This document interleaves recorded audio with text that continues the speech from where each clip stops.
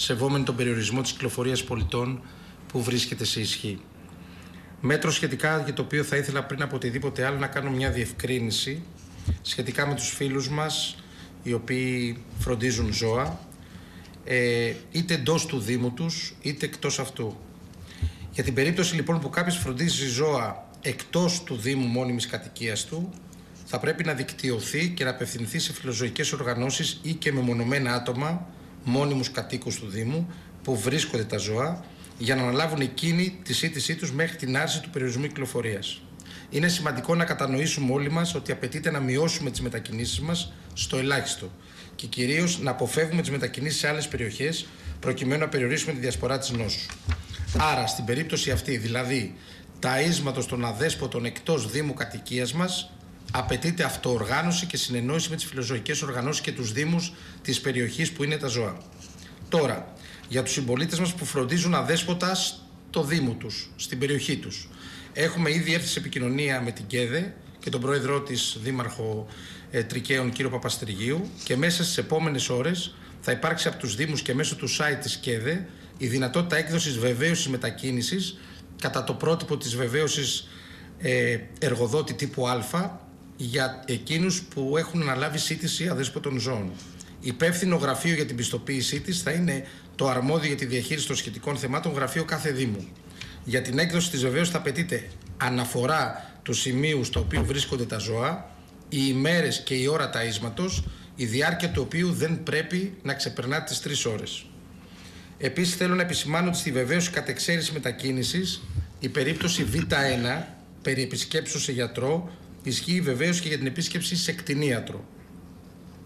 Στο σημείο αυτό θα ήθελα να δώσω κάποιες επιπλέον διευκρινήσεις σχετικά με τους επαναπατριστέντες συμπολίτες μας από την Ισπανία. Κάποιοι πολύ λίγο ευτυχώς χτες διαμαρτυρήθηκαν για δίθεν έλλειψη ενημέρωσης από τους αρμόδιους φορείς. Θα ήθελα να τονίσω ότι όλοι ενημερώθηκαν για τα αποτελέσματά τους από τον εκπρόσωπο του ΕΟΔΗ, πρώτα οι νοσούντες, οι οποίοι είχαν ενημερωθεί σε πρώτο χρόνο και πριν τη χθεσινή μου ανακοίνωση, και συνεχεία όσοι βγήκαν αρνητικοί στο τεστ, διαδικασία που βεβαίως απαιτεί κάποιο χρόνο δεδομένο τον αριθμό των επαναπατριστέντων, σας θυμίζω 263 συμπολίτες μας. Όλοι οι επιβάτες που ήταν αρνητικοί επίσης ενημερώθηκαν από τον ΕΟΔΗ ότι μπορούσαν να αποχωρήσουν από το ξενοδοχείο και χθες το βράδυ αποχώρησαν ήδη 30 άτομα, συνοδευόμενα από έναν από τους οικείους τους, και αφού φυσικά επικαιροποίησαν τη δήλωση που αναφέρουν τον τόπο που θα παραμείνουν κατά τις υπόλοιπες 12 μέρες απομόνωσής τους, τόπος που θα ελεγχθεί και από τις αρμόδιες αρχές. Σήμερα αποχωρούν και οι υπόλοιποι από τους επιβάτες που βγήκαν αρνητικοί, μια και η Γενική Γραμματεία έχει αναλάβει και θέλω να το τονίσω τη μεταφορά στον τόπο κατοικίας τους σε όλη την Ελλάδα. Εκείνων δηλαδή που δεν είχαν ίδιο μεταφορικό μέσο και δεν μπορεί να τους παραλάβει κάποιος οικείος τους.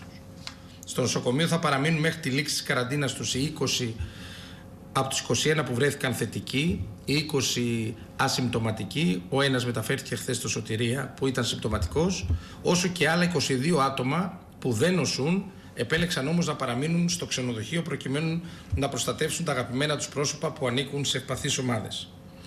Τόσο αυτοί οι 20 συμπολίτες μας, όσο και οποιοδήποτε άλλος από τους επιβαίνοντες στις δύο πτήσεις επιθυμεί να παραμείνει στο ξενοδοχείο για το σύνολο της 14ήμερη αυτοαπομόνωσης, μπορεί να το κάνει.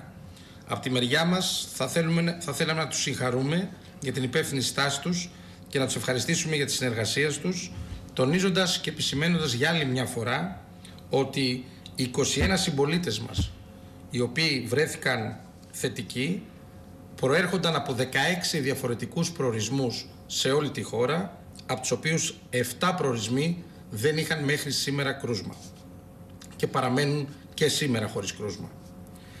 Θέλω επίσης να ξεκαθαρίσω ότι από αύριο εντατικοποιούνται και αυστηροποιούνται όλοι οι έλεγχοι των συμπολιτών μας που είναι σε καραντίνα σε όλη τη χώρα. Καλούμε όλους να συνεχίσουν υπεύθυνα την απομόνωσή τους και να μην έρχονται τα όργανα της τάξης στη δύσκολη θέση να επιβάλλουν δυσβάσταχτα πρόστιμα. Στο σημείο αυτό θέλω να αναφερθώ σε κάτι που είναι εξαιρετικά σημαντικό. Λαμβάνοντας υπόψη το γεγονός ότι εννέα άτομα στην ευρύτερη περιοχή της Περιφερειακής Ενότητας Ξάνθης τις τελευταίες έξι μέρες βρέθηκαν θετικοί στον ιό COVID-19, τρέχοντας τα σχετικά μοντέλα και αλγόριθμους ρυθμού εξάπλωσης νόσου, προέκυψε σαφέστατη ένδειξη υψηλού επιδημιολογικού πολλαπλασιαστή. με τη σύμφωνη γνώμη της Ειδικής Επιτροπής και σε συνεννόηση με τον Περιφερειάρχη Ανατολικής Μακεδονίας και Θράκης αλλά και τον Δήμαρχο Μίκης σας ανακοινώνω ότι πριν λίγο από τις 6 το απόγευμα κηρύχτηκε σε έκτακτη κατάσταση η περιοχή της κοινότητας Εχίνου, της Δημοτικής Ενότητας Μίκης, του Δήμου Μίκης, της Περιφερειακής Ενότητας Ξάνθης και επιβλήθηκε προσωρινός περιορισμός κατοίκων όλων των κατοίκων της περιοχής χωρίς καμία δυνατότητα κατεξαίρεσης μετακίνησης.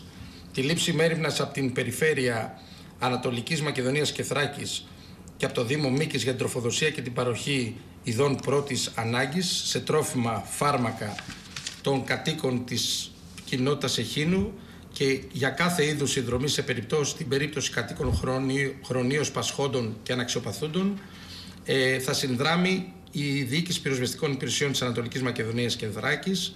Ταυτόχρονα την επιτήρηση και ανάληψη κάθε αναγκαίας ενέργειας έχει αναλάβει η Γενική Περιφερειακή Αστυνομική Διεύθυνση Ανατολικής Μακεδονίας και Θράκης.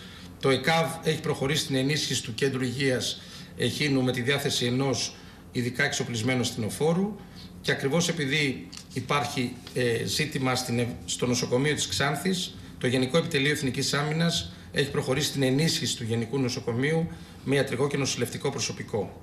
Επαναλαμβάνω ότι εν λόγω κήρυξη ισχύει για δύο εβδομάδες, είτε από σήμερα στις 6 ώρα το απόγευμα και έως τις 7 Απριλίου, οπότε και θα επανεκτιμηθεί η άρση ή η παράτασή της. Καλούμε τους κατοίκους της Περιφερειακής Ενότητας Ξάνθης και της ευρύτερης περιοχής και ειδικότερα των χωριών του Δήμου Μίκης να παραμείνουν στα σπίτια τους. Ήδη η έλεγχη είναι εξαντλητική και ο κίνδυνος εξάπλωσης της νόσου στην περιοχή είναι υψηλότατος. Επίσης τονίζουμε για άλλη μια φορά ότι όπως προκύπτει από τα στοιχεία αλλά και τη συνολική εικόνα ότι η συντριπτική πλειοψηφία των συμπολιτών μας ακολουθεί υπεύθυνα τις οδηγίες συμβάλλοντας στην εθνική προσπάθεια για την μη εξάπλωση του ιού. Οι ελάχιστοι που δεν το πράττουν θέτουν σε κίνδυνο την υγεία των πολλών, της κάθε γειτονιάς, της ίδιας μας της κοινωνίας και τους καλούμε για άλλη μια φορά να το συνειδητοποιήσουν άμεσα. Αγαπητοί μου συμπολίτες, κυρίες και κύριοι, το 1821 οι πρόγονοί μας ξεκίνησαν έναν αγώνα που είχε ως αποτέλεσμα τη γέννηση του σύγχρονου ελληνικού κράτους. Σήμερα είναι η σειρά μας να αποδείξουμε για άλλη μια φορά ότι μπορούμε να ενώσουμε τις δυνάμεις μας και να συνταχθούμε εναντίον ενός κοινού αόρατου εχθρού. Χτίζουμε το αύριο της πατρίδας μας μένοντας στο σπίτι, προστατεύοντας τους αγαπημένους μας και τον εαυτό μας, δείχνοντας την ευγνωμοσύνη μας στους μαχητές της πρώτης γραμμής.